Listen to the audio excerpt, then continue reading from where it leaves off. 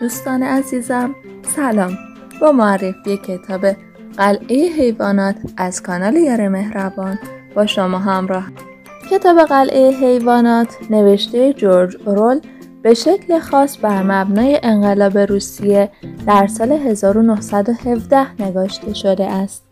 اورول در این داستان نمادین به خوبی نشان می دهد که قدرت چگونه می تواند حتی عالی ترین و نابترین آرمان ها را هم به فساد بکشاند. اما خلاصه داستان. داستان این کتاب درباره حیوانات قلعه اربابی است که به آقای جونز تعلق دارد. یک دائم الخمر الکلی که مزرعهش در فقر مطلق است اما همچنان از حیواناتش سخت کار می‌کشد. جونز در واقع نماد شخصیت نیکولاس تزار دوم روسیه است. در میان حیوانات خوک پیری به نام میجر وجود دارد که از احترام بالایی میان حیوانات برخوردار است او یک سخنرانی هیجان انگیز برای حیوانات بر علیه انسانها ارائه می کند که چشم آنها را باز می کند.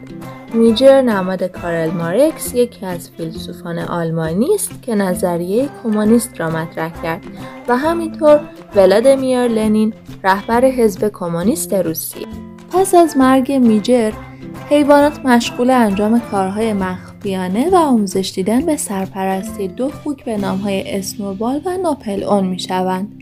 چند ماه بعد که شرایط مزرعه سختتر می شود حیوانات انقلاب می کنند و انسانها را از مزرعه فراری می دهند.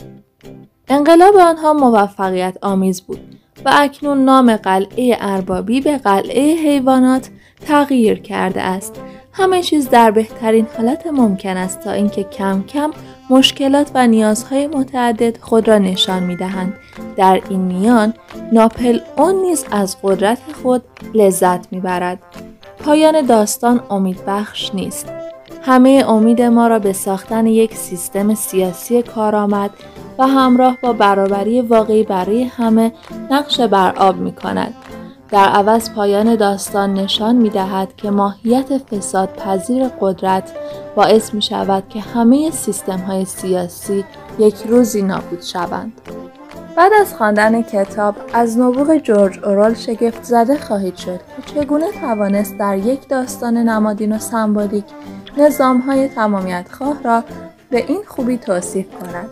امیدوارم از خواندن این کتاب لذت ببرید و با کانال ما همراه باشید.